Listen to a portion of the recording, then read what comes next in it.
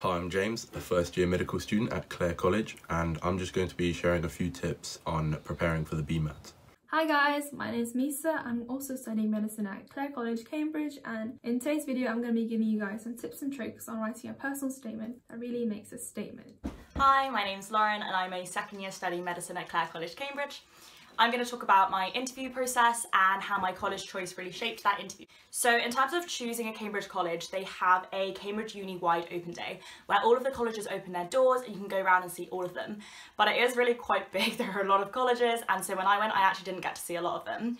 But I chose a handful that were kind of central and quite pretty and Clare was one of those and it was really beautiful and I really enjoyed it.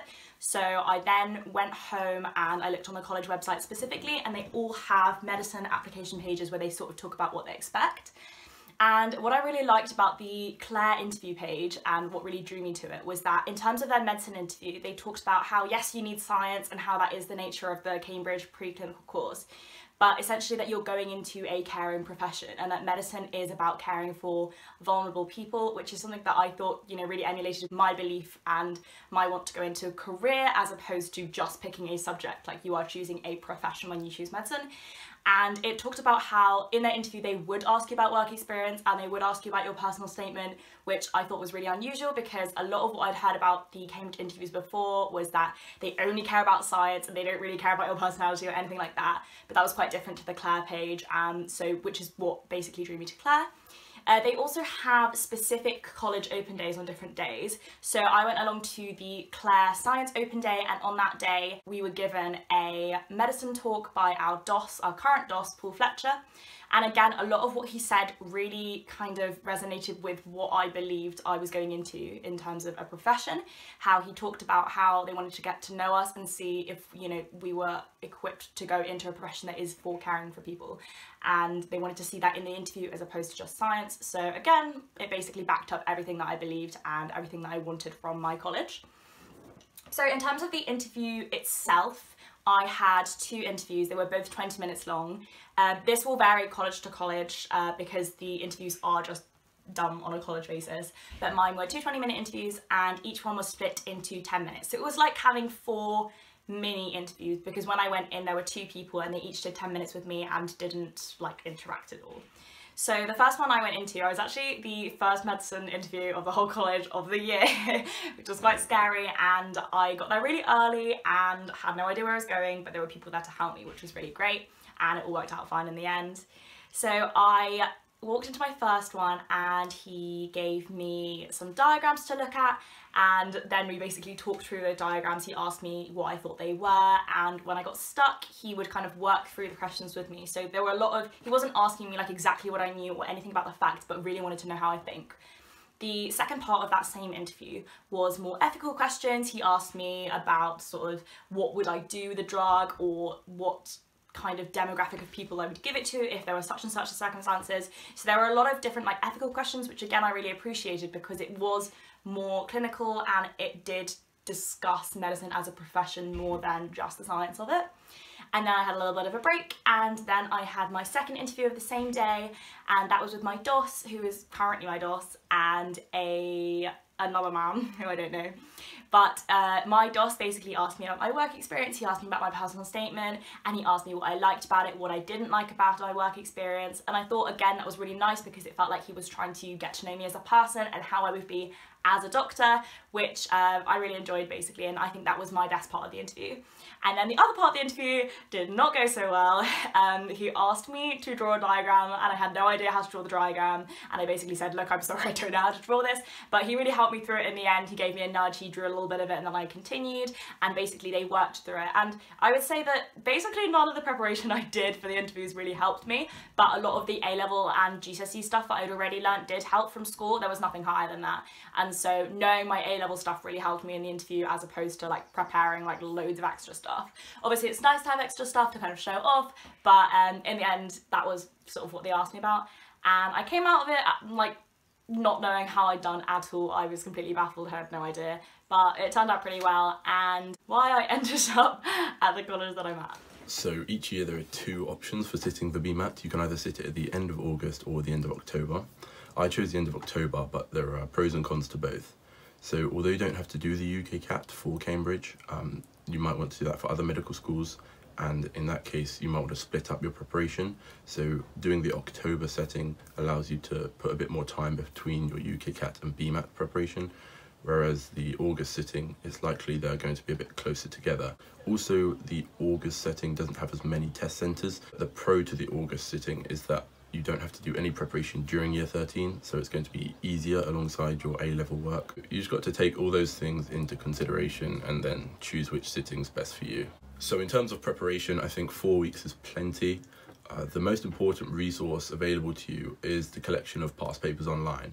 So they're about 15 years, I think. So it's important to go through these and get comfortable with the question style for each of the three sections. Section two, the science section, features AS level content for chemistry, biology and maths, and about GCSE content for physics.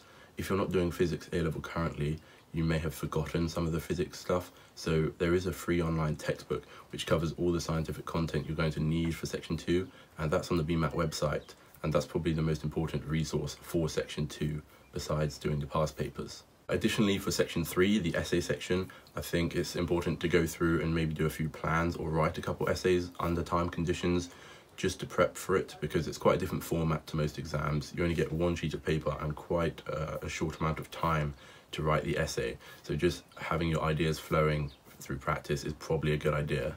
So I found that there are a couple of useful books on Amazon which were both relatively inexpensive. So the first one I used was uh, BMAT Answers Explained and that was quite useful because when you get told an answer from a mark scheme and you don't know why it's correct, it's important to see the reasoning that got to the answer because they often assess similar skills year on year. Also there's a book called 700 BMAT Questions which although it's written independently it does feature questions of similar content strength and similar content style. So throughout the days during October when I was preparing, I would take this to school and do a few extra questions if I had time in the day, maybe in a free period or something. It's not essential, but it just was a little bit helpful for me, I think. So there are lots of other resources online. Some are free, like forums, some are paid, such as courses. You can look into these and see if you think any would help you with your preparation, but it's important that you don't think you have to shell out lots of money to do well because you don't. Most of the important resources such as the past papers are all free. So on the exam day, just take it as you would any other exam, do the best you can. It is an important part of the application process because it allows colleges to distinguish between all applicants because everyone takes it, but it's not the only way to make yourself stand out. So with that, good luck to all future applicants and I hope this was helpful. Now we don't have very much time today, but I'm going to do my best to get through as much as I can and hopefully these will help you guys out. Let's go! So my first tip would be to bullet point anything that you could possibly include in your personal statement and this could be minor things like an article that you read that really interested you and when you look at it you can see okay so these are things that I could possibly include in my statement. So the reason why I say to also include smaller points is because you never know when you can sprinkle in those smaller points to back up your claims for larger points or also just to add more substance to your whole personal statement? Because then that leads us on to number two which is to then refine that list a little bit more and consider what things you want to prioritize including because although 4,000 characters seems like a lot when you get writing, it really isn't that much. Whilst you're prioritizing, also keep in mind why you are prioritizing certain things. Work experience, I think, is definitely something that you need to have in your personal statement. And the thing about a personal statement is that it's better if you go into details with a few points than if you just list everything you've done off. If you just start listing, it doesn't really show what you've learned from it and what you've gained from it. So when you're prioritizing, keep in mind why you're prioritizing certain things, what you're actually going to talk about, and also keep in mind how much detail are you going to go into each of those points. Which leads me on nicely to my third point, which is I really recommend writing your personal statement in a way that it almost tells a story about your progression into learning and your progression into deciding that medicine was for you.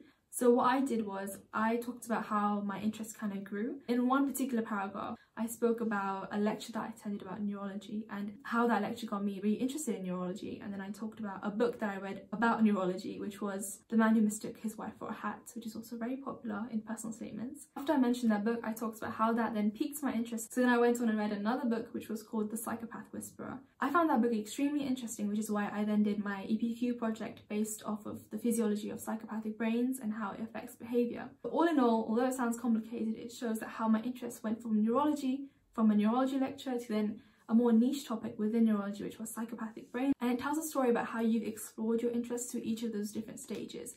Whereas if you had just said, I read a book about neurology and then I went to a lecture about endocrinology and then I studied a, an article about cancer, of course, all those things are really interesting and it shows that you've been doing a lot of further reading, but it doesn't really show how you've explored what you've learned in all those situations. And so with the whole storytelling concept, it shows a kind of journey of how you've grown your understanding of this one particular topic that you really found interesting. For me, I think that's a really good way of talking about your extra reading and your super curricular activities because instead of just listing things off, it shows a journey about how you came from one point to another and how you've explored your academic interests in that way. And I just think that's a lot more interesting to read than just Work experience, I think is one of the most important things in a medical personal statement to be honest and I really really do recommend going into one work experience in a lot of detail and really exploring how that changed your perception on healthcare if it did. When you are prioritizing what to include and what not to include I do want to say things like Duke of Edinburgh being netball captain or anything like that. It still includes some of those that show your personality and show the skills that you've learned, but also keep in mind that when you're applying for medicine at Cambridge, it's more to do with the academic stuff and less to do with the extracurricular stuff. But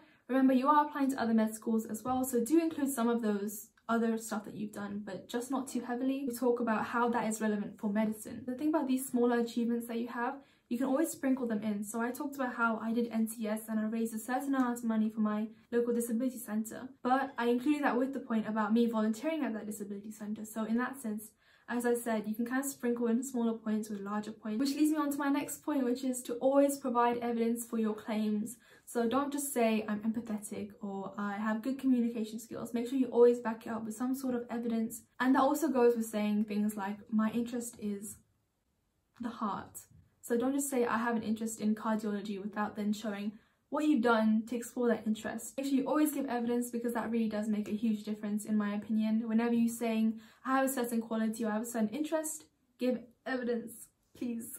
My next tip is to show how you've reflected on work experience or volunteering or anything that you've done because it's good and all saying you've done it, but it doesn't really show anything unless you go on to then explore how that's changed you or how you've learned something from it. It really doesn't matter about what work experience you do or how much work experience you do, it matters about what you learn from it because I didn't talk about all of them in my personal statement. I talked about a few of them. If you are struggling to find work experience, also realize that you don't have to do it at a GP or at a hospital. It can literally be at a primary school helping out children to learn. You gain so much interpersonal skills there. I'd say that I learned a lot more in my volunteering at a disability centre than I did at my GP or my hospital. If you are going on work experience at a GP or a hospital, then do take a notebook and kind of write down the things that you learn. Obviously, patient confidentiality and all that, but if you hear about a new word or you see a doctor do something really interesting that you really like, or a quality in a doctor that you really like, then do jot it down so that you don't then have to trace back everything in your memories and you have it in your notebook be honest, I have lost track on what number I'm on,